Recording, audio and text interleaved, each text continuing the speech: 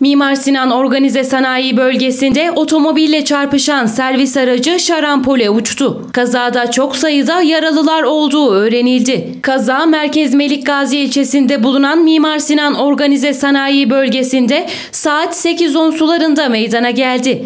Henüz kimliği belirlenemeyen otomobil sürücüsü seyir halindeki servis aracına çarptı. Çarpmanın etkisiyle servis aracı şarampole uçtu. İhbar üzerine olay yerine 112 sağlık ve polis ekipleri sevk edildi. Sağlık görevlileri yaralılara ilk müdahaleyi olay yerinde yaptı. Daha sonra yaralılar ambulansla hastaneye kaldırıldı. Olay yerinde inceleme yapan polis kazayla ilgili soruşturma başlattı.